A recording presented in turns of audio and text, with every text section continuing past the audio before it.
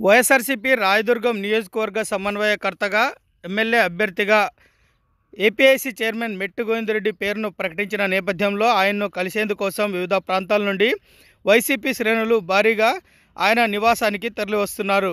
రాయదుర్గం పట్టణంలోని ఆయన నివాసం ఆదివారం ఉదయం నుండి సాయంత్రం వరకు వివిధ ప్రాంతాల నుండి తరలివచ్చిన కార్యకర్తలతో కిటకిటలాడింది. ఆయన్ను కలిసి శుభాకాంక్షలు తెలియజేసి మద్దతు ప్రకటించేందుకోసం రాయదుర్గం నియోజకవర్గంలోని ఐదు మండలాల నుండి పెద్ద ఎత్తున కార్యకర్తలు నాయకులు తరలివచ్చారు. వందలాదిగా తరలివచ్చిన కార్యకర్తలకు నాయకులకు ఆయన తన గెలుపు కోసం అందరూ సహకరించాలని వైఎస్ జగన్మోహన్ రెడ్డిని ముఖ్యమంత్రిగా చేసుకోవడానికి సహకరించాలని విజ్ఞప్తి చేశారు. ఎన్నికల్లో అందరూ కలిసికట్టుగా పనిచేసి వైఎస్ఆర్సీపీ విజయానికి తోడ్పడాలని వారందరికీ పిలుపునిచ్చారు.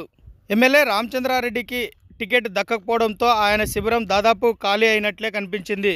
కాపు రామచంద్రారెడ్డికి టికెట్ ఇవ్వకపోతే రాజీనామా చేస్తామని ప్రకటించిన పలువురు నేతలు ప్రజాప్రతినిధులు సైతం మెట్టుగొందిరెడ్డి శిబిరంలో చేరిపోవడం ఆశ్చర్యం.